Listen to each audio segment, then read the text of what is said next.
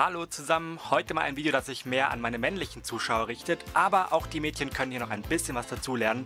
Und zwar soll es darum gehen, wie man eine Krawatte richtig bindet. Und hier haben wir schon das gute Stück.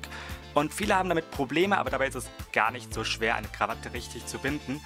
Und deswegen zeige ich euch mal, wie man das richtig macht. Und zwar nicht so... Nee. Also, Krawatte erstmal weg.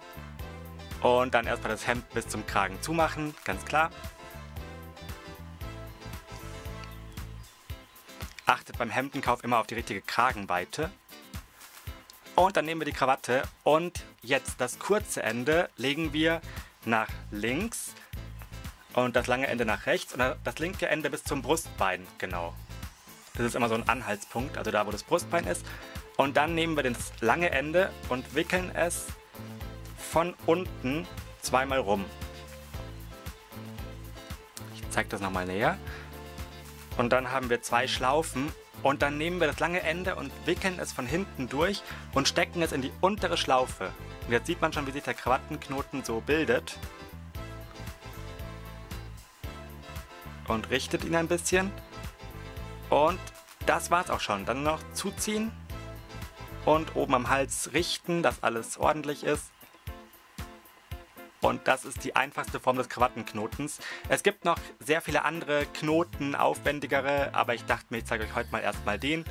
Und wenn ihr noch mehr Knoten sehen wollt, dann könnt ihr mich das ja mal wissen lassen. So, sieht gut aus, sauber, einfach und perfekt.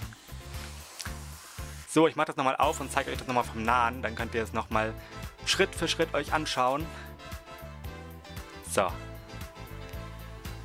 Kurzes Ende nach links bis auf Höhe des Brustbeins. Dann das lange Ende nehmen. Zweimal so rumwickeln, wie man es hier sieht. Dann von hinten durchziehen und dann in die untere Schlaufe das Ende reinstecken.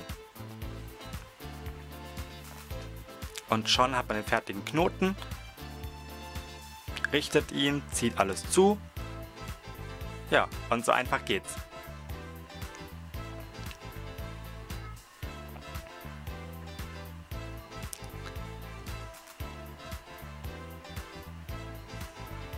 Und jetzt seid ihr fertig für Arbeit, Theater, Bewerbungsgespräch und so weiter.